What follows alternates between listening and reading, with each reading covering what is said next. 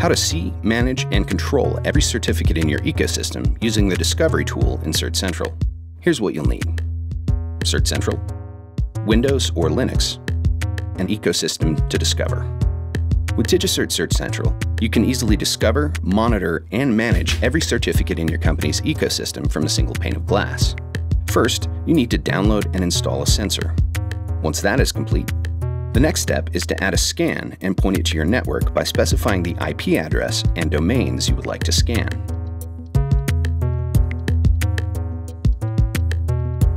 Once the scan is complete, you're able to access it in your report dashboard, where you can see all discovered certificates and endpoints for the domains you selected. And if the scan detects any issues or vulnerabilities, you can easily troubleshoot them without ever leaving the dashboard. And that's it.